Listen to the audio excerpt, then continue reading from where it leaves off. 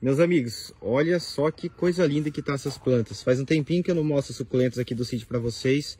Apesar de eu não poder vir aqui cuidar tanto, elas estão topíssimas. Então bora ver coisa bonita. Olha essa Orostax aqui, mais conhecida como rosinha de pedra. Que coisa linda, gente. Sou muito fã dessa planta. Tem essa mini Deb, que eu gosto demais.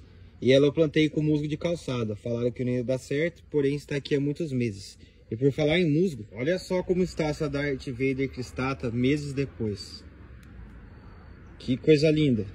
Olha esse tapete. Cedeveria Pudig. Planta linda. Está entrando frio e olha só o estresse dessa eufórbia, gente. Olha que maravilha. Momocona, vaso grandão de momoca e vasinho pequeno de momoca. Top demais. E o que dizer desse Ripsalis estressadíssimo. Olha isso. Já viu ficar dessa cor? Arranjo maravilhoso. Que saúde, hein, gente?